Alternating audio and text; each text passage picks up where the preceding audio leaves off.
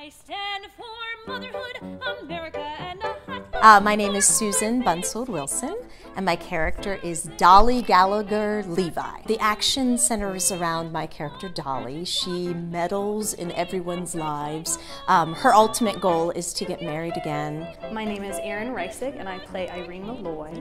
So the story is about a woman who likes to be nosy and uh, match up some couples.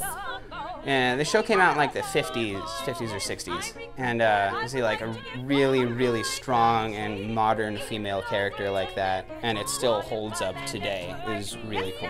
And I think that's something that people can take away. Um, I d- actually did this show in high school and I was in the dance corps. Um, but I really, I've always loved this musical. I mean, this is as classic as it gets.